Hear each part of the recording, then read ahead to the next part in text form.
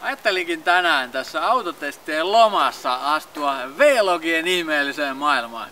Ja tässä ensimmäisessä V-logissa niin ajattelin testata tämmöisen Electroluxin Rapido autoimurin.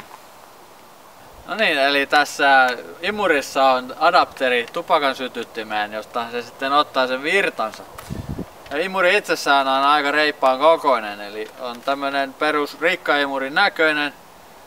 Täällä on tämmöiset pyörät täällä toisessa päässä, jotta se sitten rullaa kivasti tuota autoa pitkin.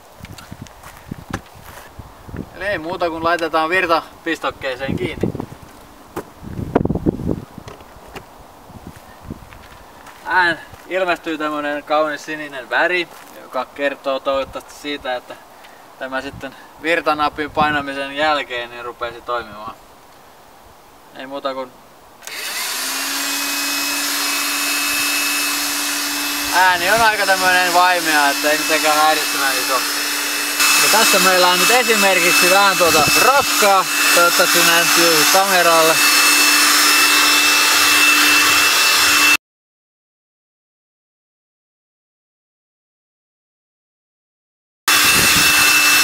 tämmöiset epämääräiset karvat, niin ne, niitä tämä ei kyllä jaksa imuroida. Ja tommoset heinät ja sorat ja muut, niin ne tuntuvat mennä. Kokeillaan vielä tuo hankalampi paikka, eli kuljettajan jalkatilat.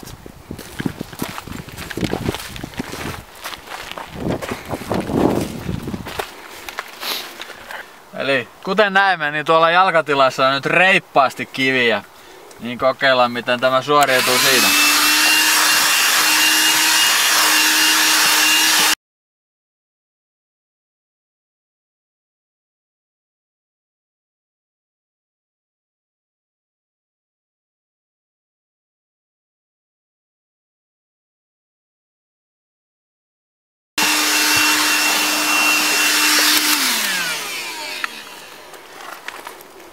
Tämmöisellä pienellä testillä voisin sanoa, että suurimmat roskat kyllä lähtee, mutta ei sitä nyt ihan kokonaan siistiksi saa.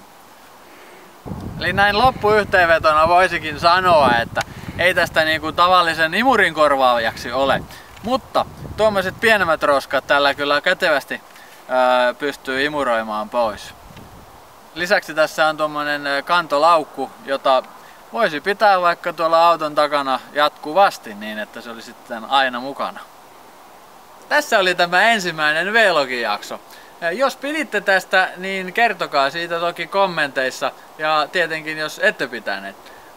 Ja jos teillä on jotain ehdotuksia, että mistä haluaisitte kuulla, niin mielellämme yritämme mahdollisuuksien mukaan toteuttaa niitä.